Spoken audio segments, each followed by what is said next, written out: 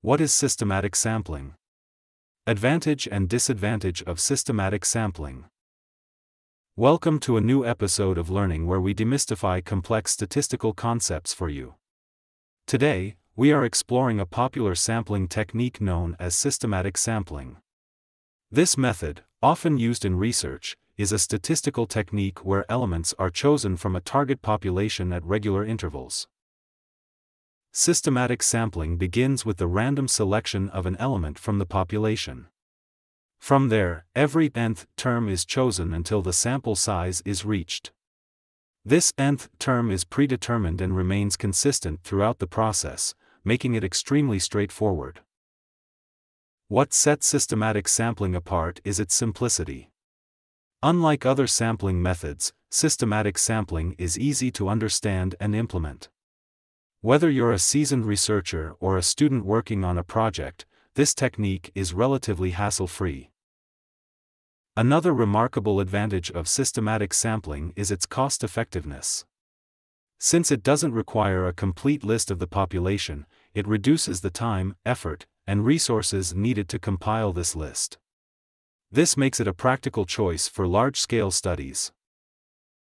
Systematic sampling also ensures a fair representation of the population. Because the selection process is systematic, it eliminates bias, providing a more accurate reflection of the group being studied. This leads to more reliable and credible research results. However, like all methods, systematic sampling has its limitations. One key disadvantage is the risk of pattern bias. If the population has a hidden pattern, it may coincide with the sampling interval, skewing the results and leading to inaccurate conclusions. Another drawback to systematic sampling is its dependence on the initial random selection. If the first element chosen is not truly random, it could impact the entire sample's representativeness, compromising the quality of the research. Lastly, systematic sampling is not suitable for all types of research.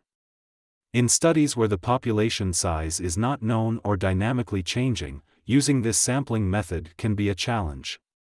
The fixed sampling interval might not capture the population's diverse characteristics well. Despite these limitations, systematic sampling remains a widely used technique in various fields.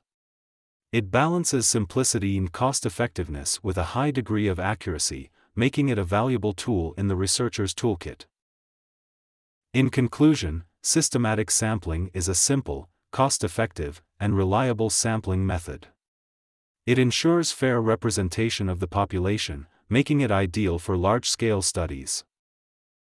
However, it is not without its drawbacks, including the risk of pattern bias and dependence on the initial random selection.